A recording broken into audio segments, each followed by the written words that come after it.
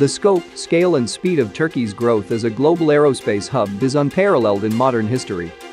This achievement is largely due to the country's desire to work towards self-sufficiency in the defense sector, thereby reducing dependence on foreign suppliers. Arguably, the most ambitious projects to date include the development of an advanced jet trainer and a stealth air superiority fighter. However, Turkey's efforts at manufacturing combat aircraft are not limited to manned platforms alone. Their Bayraktar TB2 unmanned aerial vehicle attained legendary status for its role in countering Russia's invasion of Ukraine. But apart from the TB2 UAV, Turkey designs and manufactures other drones too. So, in this video, we are taking a closer look at Turkey's most advanced combat drone to date, the Bayraktar Akinci. Bayraktar Akinci is a high-altitude long-endurance unmanned combat aerial vehicle manufactured by Baykar. The Akinci is capable of conducting operations that are typically performed by fighter jets, such as air-to-ground or air-to-air attacks, among other things.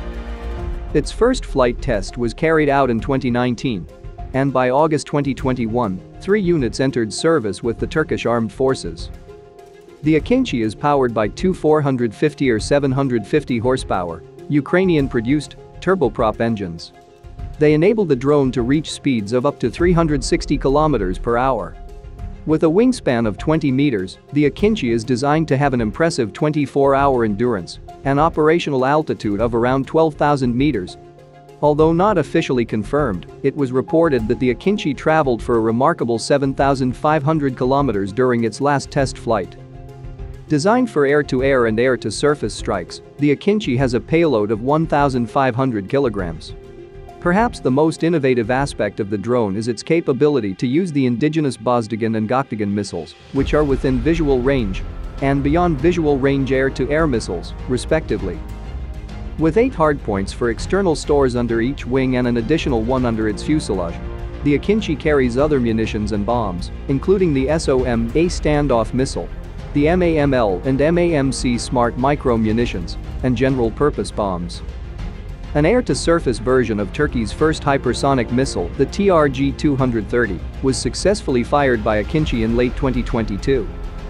All of these novel capabilities drastically expand the scope of Turkey's drone warfare capacity to also target enemy aircraft, UAVs, and helicopters. According to the Turkish military expert Metin Gürkan, the Akinci will be Turkey's main aerial vehicle for intelligence surveillance target acquisition and command control communication tasks in the next decade. As such, it is equipped with a wide range of indigenously developed systems, such as a multi-role active electronically scanned array radar, a SAR-GMTI radar, a wide area surveillance system, and numerous other EW systems and suites. Baykar also claims that the drone utilizes dual artificial intelligence avionics that enable signal processing, sensor fusion, and situational awareness in real time. This combination of advanced radars, communication systems, and sophisticated weapons could make the Akinci quite effective in detecting and destroying individual land targets, on top of its impressive air capabilities that we've previously mentioned.